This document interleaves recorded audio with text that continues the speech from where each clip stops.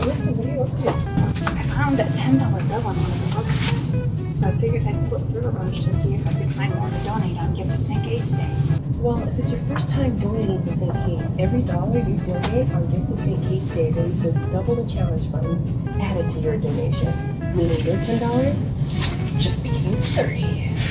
Well, with that kind of impact, I don't even need to flip through all those books.